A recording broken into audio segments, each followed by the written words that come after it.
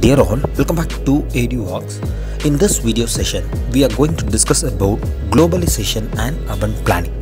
The new ways of communication and transportations are having a strong impact on urban development and urbanism itself. The former issues of urbanism are today to be replaced due to new ways of living, new technology and global networks and also the development in developing countries. Distances are decreasing both locally and globally, and at the same time, as everyday life more and more is depending on transports and communications on different levels. Motorized traffic and public transportation means possibilities for people to commute longer distances to work, activities, shop, leisure, etc. Improved worldwide communications by aircraft and ships have opened up new markets for multinational and transnational companies to provide products worldwide. The manufacturing have also been affected by this as a cost benefit analysis, which includes a large amount of countries to choose between to keep quality up to a lower cost.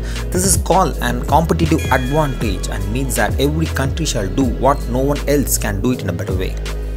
Architect Rem Koolhaas, among other, means that the globalization has a strong impact on urbanism and that urbanism is being transformed into something new. The globalization process is connecting what happens on the global area to the local society and interactions where both parts are reeling and depending on one another. Urbanism is not just spatial structure but activities and variety.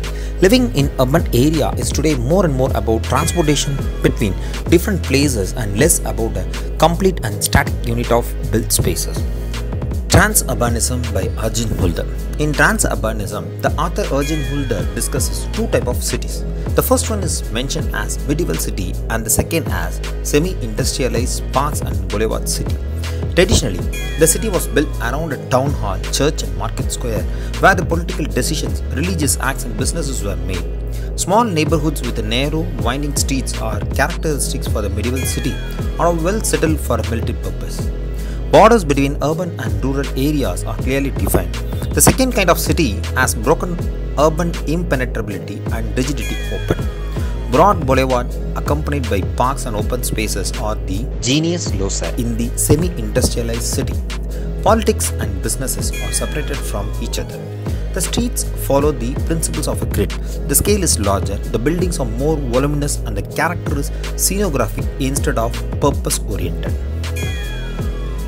Conclusion As globalization has progressed, living conditions, particularly when measured by broader indicators of well being, have improved significantly in virtually all countries.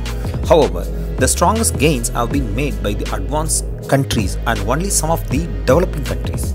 The international community should endeavor by strengthening the international financial systems through trade and through aid to help the poorest countries integrate into the world economy and grow more rapidly and reduce poverty. That is the way to ensure all people in all countries have access to the benefits of globalization. Thank you.